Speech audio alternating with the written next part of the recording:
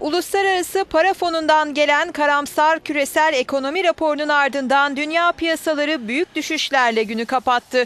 Avrupa piyasalarında düşüşler %2,5'a yaklaşarak düşüş trendini dördüncü güne taşıdı ve Ocak ayından bu yanaki en uzun süreli kayıp dönemini yaşadı. Brent tipi petrolün varil fiyatı ise rekor seviyeye gerileyerek 98 dolara düştü. Uzmanlar bu sürpriz düşüşlerden ötürü şaşkın. Bugünkü ani düşüş bizim için gerçek bir sürpriz oldu. Gelecekteki piyasalar üzerinde bir baskı olduğunu gördük ve burada süren satış programlarının sipariş kaybına ve baskının daha da artmasına sebep olduğunu gördük. Son 4 günde üçüncü kez aşağı yönde hareket eden altının onsu ise 1390 dolardan işlem gördü. Borsa İstanbul 100 endeksi günü %0.36 düşüşle 84.397 puandan kapattı.